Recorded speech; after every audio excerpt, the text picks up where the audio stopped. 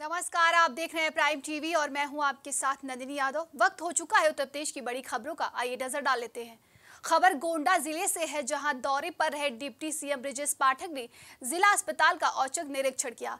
साथ ही मरीजों से बातचीत करके स्वास्थ्य व्यवस्थाओं की जानकारी भी ली, जिसके बाद उपकेंद्र का भी निरीक्षण किया, जहाँ उपकेंद्र पर ताला लटका हुआ मिला, जिसके चलते डिप्टी सीएम ने कार्यवाही के आदेश दिए हैं।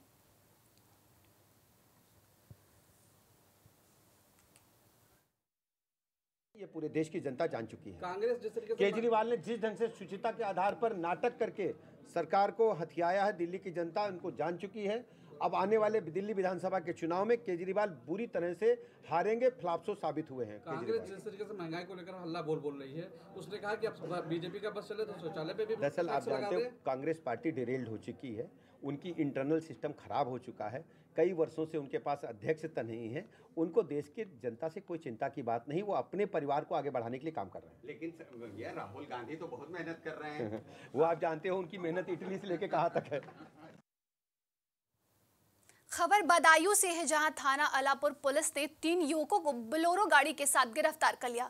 साथ ही युवकों के पास से 25 किलोग्राम डोडा बरामद किया गया है, जिसकी कीमत अंतर्राष्ट्रीय बाज़ार में 10 लाख रुपए बताई जा रही है। वहीं पुलिस ने युवकों को गिरफ़्तार कर जेल भेज दिया है।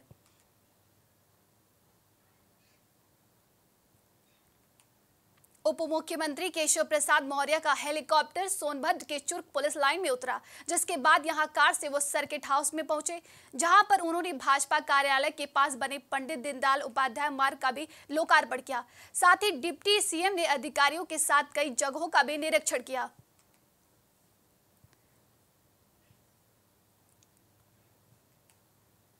यूपी में बीजेपी के नवनियुक्त प्रदेश अध्यक्ष भूपेंद्र सिंह चौधरी का पहला गाजियाबाद दौरा है। आपको बता दें कि आगामी कार्यक्रमों की रणनीति बनाई जाएगी।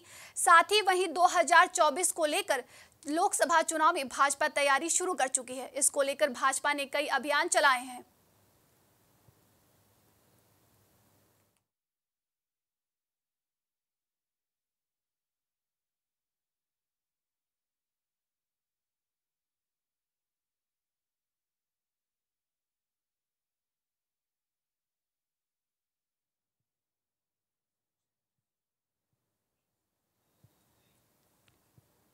खबर बदायूं से है जहाँ थाना अलापुर पुलिस ने तीन युवकों को बुलेरो गाड़ी के साथ गिरफ़्तार कर लिया है। साथ ही युवकों के पास से 25 किलोग्राम डोडा बरामद किया है, जिसकी कीमत अंतर्राष्ट्रीय बाज़ार में 10 लाख रुपए बताई जा रही है। वहीं पुलिस ने युवक को गिरफ़्तार कर जेल भेज दिया है।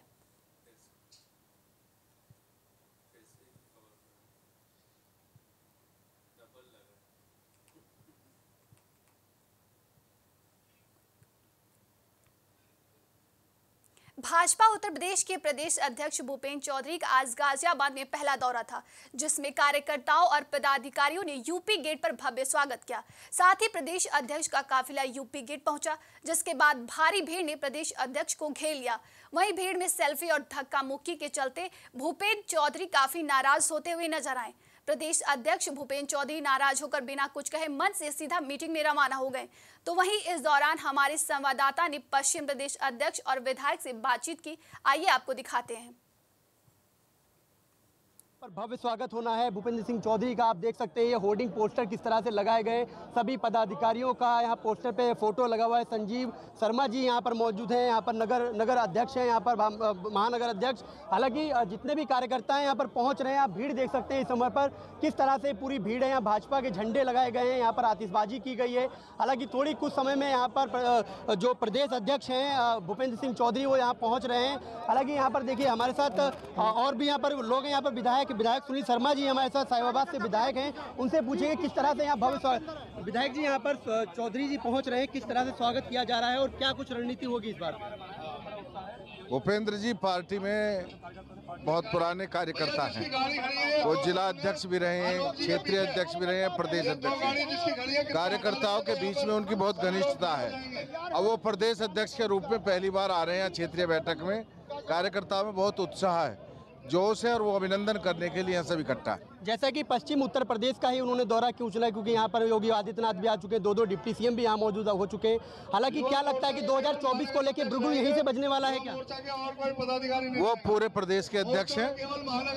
अभी लखनऊ से आए ये बैठक रूटीन बैठक है उस बैठक में आ रहे हैं। कोई अभियान ऐसा नहीं है कि अलग से कोई विशेष पूरे प्रदेश में जाएँगे सभी क्षेत्रों में जाएँगे। प्रदेश अध्यक्ष यहाँ पर पहुँच रहे हैं क्या कुछ रणनीति रहने वाली है? पश्चिम उत्तर प्रदेश में आज नवनियुक्त माननीय प्रदेश अध्यक्ष श्री चौधरी भूपेंद्र सिंह जी का प्रथम आगमन है। और पश्चिम उत्तर प्रदेश के कार्यकर्ताओं में गाजियाबाद की धरती पर आप इतनी बड़ी संख्या में कार्यकर्ता आज आकर के उनका स्वागत करेंगे। और उसके बाद हमारी पश्चिम उत्तर प्रदेश की क्षेत्र कार्यकारिणी और जिलाध्यक्षों की बैठक होगी। 2024 का बिल्कुल क्या, यही पश्चिम उत्तर प्रदेश से बसता हुआ दिखेंगे। उत्तर प्रदेश में चुनाव की शुरुआत भी पश्चिम उत्तर प्रदेश से होती है और निश्चित तौर पर 2024 का बिगुल भी पश्चिम उत्तर प्रदेश से बजेगा और उत्तर प्रदेश में पुनः प्रचंड बहुमत के साथ भगवा लहराएगा। देखिए 2024 की शुरुआत पश्चिम उत्तर प्रदेश से होती है। मोहित वनवाल जी का कहना है खासतौर पे यहाँ पर सभी भाजपा नेता पहुँच चुके हैं। लगातार यहाँ पर आप हजूम देख सकते हैं किस तरह से पूरी भीड़ है यहाँ पर। अ, ये मंच पूरा भव्य तरीके से सजा लिया गया है। अब कुछ थोड़ी देर का इंतज़ार है और यहाँ पर भूपेंद्र सिंह पहुंचकर अपने कार्यकर्ताओं से पदाधिकारियों से राज्यपाल से प्रवीण। हालाँकि मंच की पूरी तैयारी कर ली गई है। यहाँ पर भव्य स्वागत होना है। भूपेंद्र सिंह चौधरी का आप देख सकते तिलोई तहसील के वरिष्ठ समाज सेवी गांधीवादी तरीके से सत्याग्रह पर बैठे। वहीं समाज सेवी तिलोई तहसील को रायबरेली ज़िले शामिल करने की मांग को लेकर हैं। उन्होंने कहा है कि तिलोई तहसील और जनपद मुख्यालय गौरीगंज की दूरी 78 किलोमीटर है, जहाँ आने जाने की सुविधा उपलब्ध नहीं है। इस संबंध में शासन को पत्र लिख अवगत कराया गया है। मैं काफ़ी अरसे से तुले को रैली जोड़ने का कार्यक्रम चला रहा हूँ। मैं यहाँ पर धूप में आज इसलिए बैठा आज आठवें नवें दिन, कि मैं पच्चीस तारीख को सबको नोटिस दे करके डीएम सीएम और एसडीएम को बैठा हूँ। आज तक मेरे पास कोई नहीं आया है तो मैं ऊब करके सड़क पे आ रहा हूँ धीरे धीरे और इसके बाद एक से एक आगे बढ़ते हुए कार्यक्रम चलाएँगे, जो प्रजातांत्रिक ढंग से गांधी जी की विचारधाराओं से मिलती हो।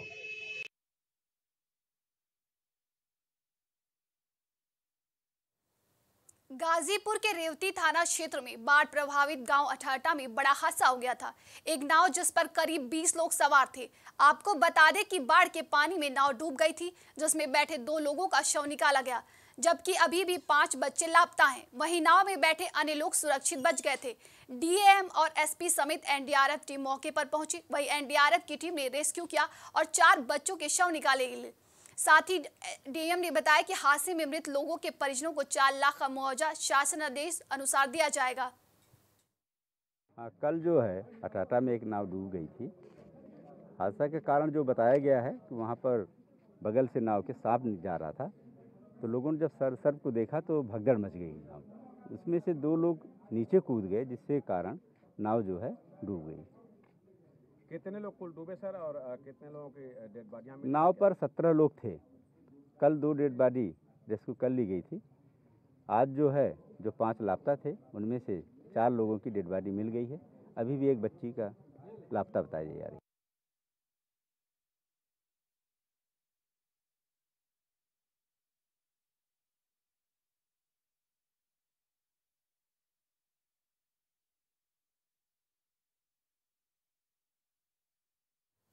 देवरिया में पुलिस ताबड़तोड़ एक्शन ले रही, जिसके चलते पुलिस ने एक हफ़्ते के अंदर तीन अपराधियों के घर कुर्क कर दिए।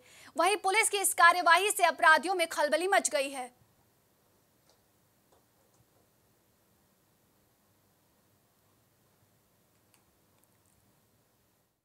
न्यायालय जिला मजिस्ट्रेट देवरिया के आदेश के अनुपालन में गैंगस्टर एक्ट का अभियुक्त अनवर, जो एक शातिर किस्म का अपराधी है, और गैंग बनाकर अपराध में लिप्त रहता है।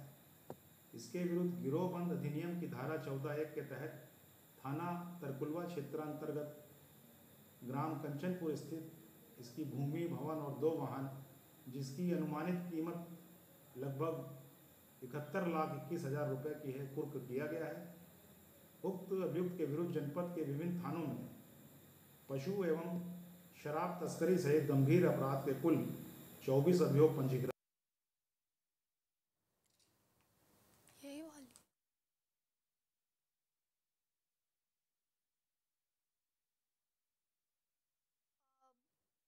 पुलिस का ताबड़तोड़ एक्शन है। पुलिस ने एक हफ़्ते के अंदर तीन अपराधियों के घर कुर्क कर दिए हैं। वहीं पुलिस इस पर कार्यवाही करने से अपराधियों में खलबली मच गई है।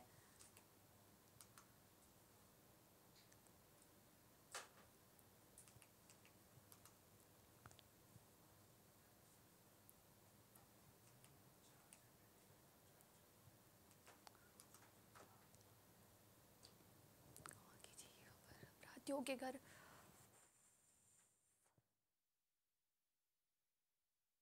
देवरिया में पुलिस का ताबड़तोड़ एक्शन चल रहा है, जिसके चलते पुलिस ने एक हफ़्ते के अंदर तीन अपराधियों के घर कुर कर दिए हैं। वहीं पुलिस इस कार्यवाही से अपराधियों में खलबली मच गई है। देवरिया में पुलिस का बड़ा एक्शन, अपराधियों के घर एक्शन ले रही है पुलिस।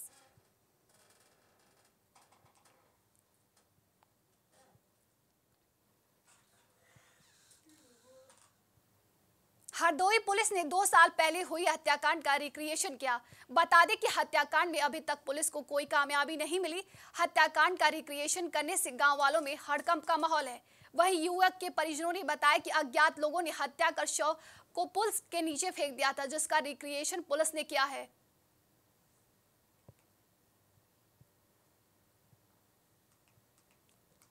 हरदोई में हत्याकांड को लेकर पुलिस ने रिक्रिएशन किया है। परिजनों का कहना है कि हत्या कर युवक का युवक का शव नदी के नीचे फेंक दिया गया था।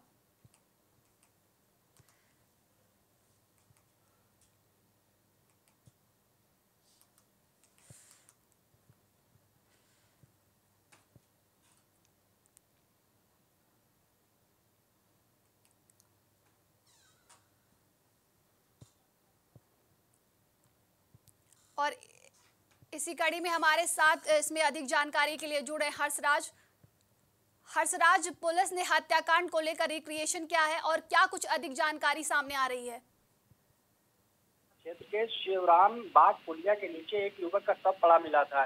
ये वाक्य दो साल पहले का है। उसकी जाँच चल रही थी। ये जो अ, मामला है जंग जिसकी सिनाट मोहित शुक्लापुर जंग बहादुर निवासी ग्राम जमलापुर के रूप में हुई थी। इसमें जाँच चल रही थी लगातार। और इसमें पुलिया के नीचे खून से लथपथ मिला था दो साल पहले। हर्षराज दो साल बाद इस तरीके से इस मामले को क्यों उठाया गया है? क्या कारण हो सकता है? इसकी जाँच चल रही थी जो डेथ मिस्ट्री को सुलझाने के लिए फॉरेंसिक टीम लगातार इस पे कार्य कर रही थी जिससे अ, गाँव में हड़कम मच गया था। दो वर्ष बाद उससे कई सबूत मिले थे उसी सबूत के आधार पर पुलिस जाँच में जुटी हुई थी। उसी आधार पर फॉरेंसिक टीम भी लगी हुई थी लगातार। और उसी के बावजूद जो भी इसमें साक्ष्य आएँगे उसी के आधार पर आगे कार्रवाई की जाएगी। तो प्रशासन की तरफ़ से इस पर क्या प्रतिक्रिया सामने आई है? प्रशासन अभी कहने से बच रहा है क्योंकि फॉरेंसिक टीम दो साल से लगातार जाँच कर रही थी। इसी के बाबत जो भी अ, मौके आला- मौके पे आला अधिकारी जो भी थे उन्होंने कहते हुए अपना थोड़ा सा पल्ला झाड़ते हुए अपने को बचाया है क्योंकि दो साल से इसे फॉरेंसिक टीम जाँच चल रही थी। धन्यवाद आपका।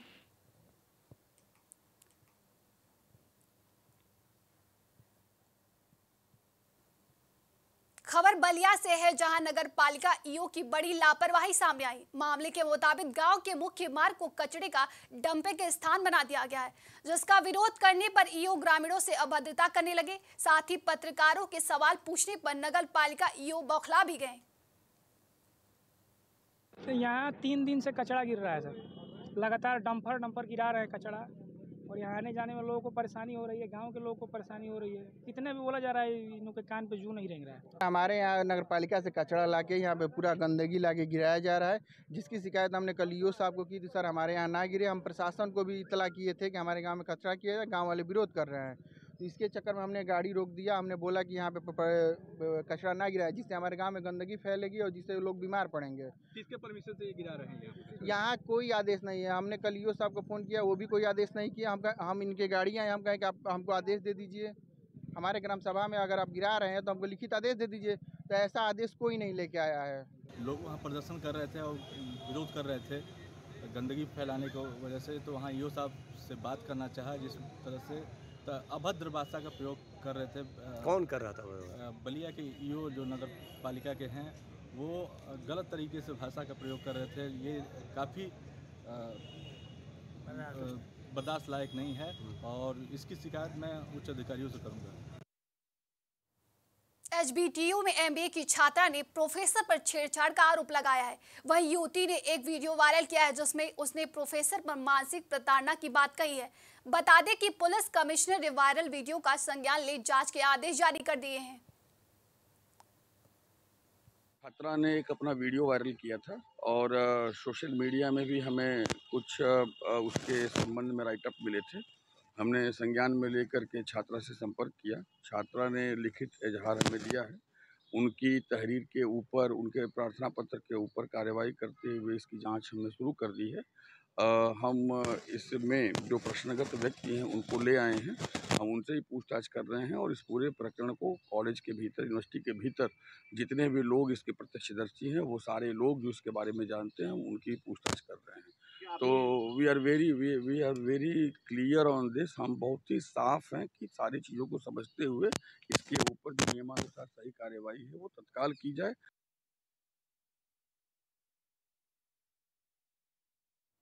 कानपुर के नवाबगंज थाना क्षेत्र में बनी सियाराम धाम के अंदर साधु के घायल अवस्था मिलने पर हड़कंप मच गया जिसके बाद परिजनों ने साधु को हालत अस्पताल में भर्ती कराया। वहीं घटना की जानकारी मिलने पर पहुँची पुलिस जाँच पड़ताल में जुट गई है। अभी जो प्रथम दृष्टि आया है कि जो वहाँ उनके रहने वाले हैं, आसपास के जो साधु थे, उनसे बयान हुआ कि इन्होंने स्वयं अपने हाथ में और गले में मारा है और साधु के भी बयान प्रारंभिक दौर पर हैं कि इन्होंने सुसाइड का, आत्महत्या का प्रयास किया है। अब किन कारणों से किया है, कैसे किया है, प्रथम इनको सबसे पहले तो इलाज हेतु हैलट में एडमिट करा दिया गया है।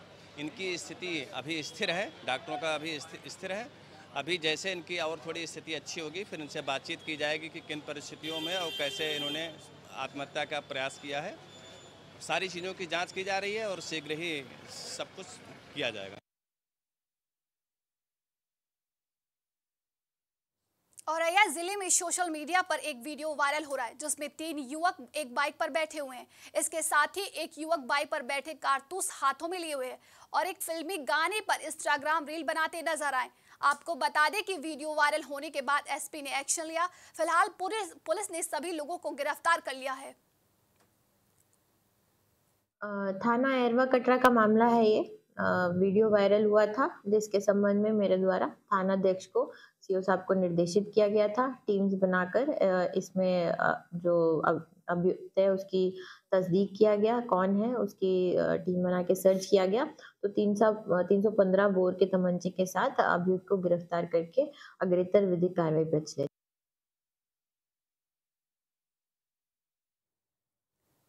यूपी में जहाँ एक और रिश्वतखोरी रोकने को लेकर सीएम योगी सख्त हैं तो वहीं एक बार फिर रिश्वत लेते हुए एक महिला लेखपाल का वीडियो वायरल हुआ, जिसमें महिला लेखपाल अपने सहयोगियों के ज़रिए रिश्वत की मांग की है।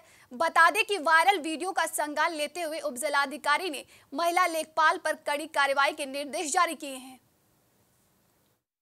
जी आज मेरे सामने भी ये सब आया है मैंने देखा वो वीडियो और उसमें जो भी सहयोगी बताया जा रहा है, उस संबंध में जाँच के लिए अलग से विस्तार को निर्देशित किया गया है।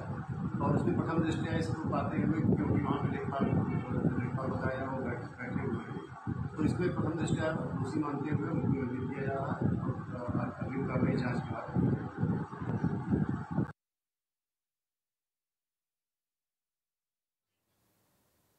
फ़िलहाल के लिए उत्तर प्रदेश की खबरों में बस इतना ही। देश दुनिया की तमाम खबरों के लिए देखते रहिए प्राइम टीवी